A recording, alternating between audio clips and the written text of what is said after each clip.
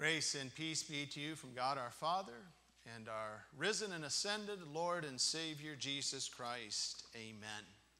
Dear friends in Christ, back on March 11th in the year 1942, in the war torn Pacific, 62 year old General Douglas MacArthur and his family slipped away from the Philippines and miraculously made their way to Australia. Before the general left, however, he made that now famous quote I shall return. A little more than two and a half years later, on October the 20th, 1944, MacArthur made good on his promise and announced triumphantly, I have returned. By the grace of Almighty God, our forces stand again on Philippine soil. General MacArthur's famous return to the Philippines reminds us of the promise which our Lord Jesus made. Only Jesus' promise was on a much grander scale. On several occasions in Scripture, Jesus reassured his disciples that he shall return. That promise was reiterated by the two men, the two angels, there in our first reading from Acts chapter 1, when they said, why do you stand here looking into the sky?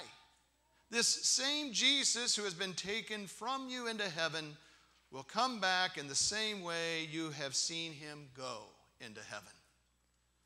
Of course, that's the promise of our Lord that we as his church have been professing throughout the centuries in the creed which we just recited a moment ago when we say, And he shall come again to judge the living and the dead. Thank goodness, my friends, that when he comes again as judge, we have nothing to fear, do we? And of course, the reason we have nothing to fear is because our sin has been paid for, paid for in full. And thanks to the gift of baptism, the gift of faith, we are forgiven and we have been covered with the righteousness of Christ Jesus. Dear friends, the Bible is clear. There is nothing left for us to do in order to be saved. Nothing. Christ Jesus has done it all. Yes, through his perfect life, perfect death, perfect resurrection, he has done it all for you, for me, for this entire world. The privilege we now have as his followers is simply to testify to others what the Lord has done. In other words, as our Lord Himself put it, you, you are witnesses of these things. Witnesses. What do you think of that, huh? Sounds easy enough, doesn't it? Or, or does it? Usually, this topic of sharing one's faith with others, this topic of witnessing, I have found it ranks right up there with preaching about stewardship. We all know that we should be doing these things, but often the reality is that we don't feel real comfortable in carrying out those tasks. I think part of the problem we have with witnessing is that we equate it with evangelism. What about that? Are witnessing and evangelism, are they the same thing? It is true they do have the same goal, and that is to bring others to Christ, to know Him and the salvation He freely offers. And those two terms are often used interchangeably, which would give you the impression that they are the same thing. However, there are some differences.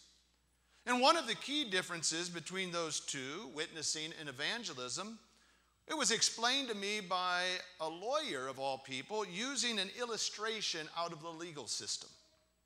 The lawyer explained it this way In most legal briefs, the facts of the case are discussed first. And then after that comes the legal argument. The first section is about witnesses and what they have to say as to what had happened. And the second section is about persuasion. This lawyer went on to say that when he writes a brief, his job is to persuade. Sometimes I think we Christians feel that we need to be lawyers, right? That is, that we need to persuade. We need to do the, the job of an evangelist when it comes to sharing our faith. Now, friends, there is certainly nothing wrong with wanting to present a good argument as to why we believe that which we believe. And I would be the first to say that growing in knowledge and understanding of one's faith is the duty of every Christian. Hey, but at the same time, don't let your lack of knowledge and understanding prevent you from witnessing. Witnessing is actually very simple. You just tell what you've heard Christ say to you through his holy word and what you have seen him do in your life. That's it. That's all there is to it. You know, I've been in church work for what, now nearly 30 years of my life. And during that time, I've had the joy of seeing all kinds of people come to faith and, and join the church. What's interesting is that from my observation, the vast majority of, of these new believers were introduced to the faith not by pastors or theologians, not by people with PhDs who could make these uh, great, grand, elaborate arguments. But most of these people came to faith, if you will, came to the Lord's house by plain, ordinary people. People like you all who simply witnessed their faith. As a matter of fact, some of the most active witnesses in the church today in terms of inviting others to, to come to worship services, to Bible classes, are those who have joined the church in the last year or two, as well as, believe it or not, little children. Huh. Over the years, most of our new member growth right here at St. Peter's has come from our preschool ministry.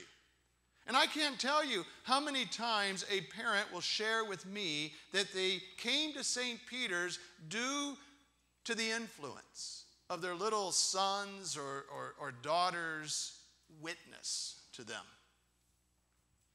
Dear friends, when it comes down to sharing our faith with others, what is it that we really need in order to, to just do that with, with confidence and with joy? I always thought it was a theological degree that would, you know, do that for me.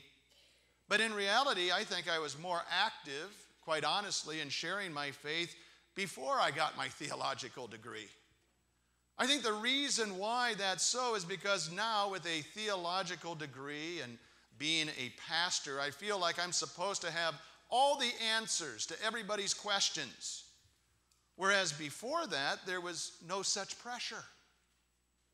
So, if it's not a theological degree, then what is it that will give us the confidence, the, the joy we need to just simply share our faith with other people? Well, to answer that question, let's go back to what we are observing here this weekend the ascension of our Lord. Tell me, when Jesus ascended into heaven, now think about this. How do you understand that event? Do you see his ascension as his leaving us and going to, going to some distant place off wherever? Leaving us to, to what? Now fend for ourselves until he makes his uh, final return here to earth? Is that how you see it? You know, the Lord's ascension is one of those events in the Bible that can be easily misunderstood. I remember watching a movie about the life of Jesus. You know, there's a lot of these movies out over the years that showed his ascension in the closing scenes of the movie. It's kind of a cheesy movie. It showed the actor playing the part of Jesus being lift up, lifted up into the sky as though some sort of cable was, you know, attached to him. There he was ascending up into the air while the disciples looked on until the clouds then, you know, they, they do that in Hollywood, uh, hid them from their sight. And just like that, he was gone. And that's kind of the impression you were left with. He's just gone. In some ways, the ascension, if you, if you don't understand it fully, can seem like just a convenient way of explaining why the resurrected Christ is not with us any longer. He's just gone. But, friends, is that really what the Bible teaches us? Actually, it isn't. Not at all. You see, when the Bible talks about Jesus' ascension into heaven, it's not talking about a change of location, as though Jesus goes from what, here on earth to there, wherever there may be. Rather, it's talking about a change of condition. You say you don't understand that? Well, perhaps some uh, common expressions that we often use in everyday speech might help us. For instance, we may say something like, Did you see old so and so? Why, he's really on top of the world. Or, Oh, that poor guy, he's really down in the dumps. What does that mean when we say things like that? Obviously, we are describing there a condition, right? Not a location. Well, my friends, the same is true of our Lord's ascension. Upon his resurrection from the dead, our Lord entered into a state, a condition, if you will, of glory. As the Bible says, God the Father exalted him to the highest place. Now, during the 40 days between his resurrection and his ascension, Jesus came out of his glory, you might say, to appear to his disciples. And he did this on, on several instances. As you may recall, he ate with them, he walked and talked with them on several occasions. But at the same time, he was not subject to the ordinary processes of of human existence. He kind of uh, appeared and, and then disappeared at will. Have you ever noticed that when you read the Gospels? Jesus is there post resurrection, then he's gone, then he's appearing again. And he did that on several occasions to show that he had, in fact, risen from the dead. Now, really, his ascension then was no different than the other appearances and disappearances that Jesus made after his resurrection. The only difference with his ascension here was that this time it would be his final bodily appearance until he returns again in bodily form on the last day. So, what's all that have to do with sharing our faith?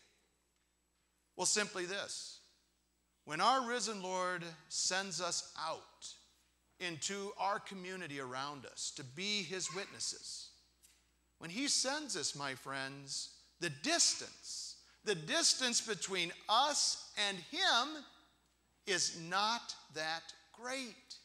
It really isn't. The early church understood that reality. For example, after Jesus had ascended into heaven, it says in verse 52 of our gospel reading here today that the disciples worshiped Jesus and returned to Jerusalem with great joy. Great joy. That's hardly the kind of reaction you would expect from a group of people whose beloved leader was leaving them.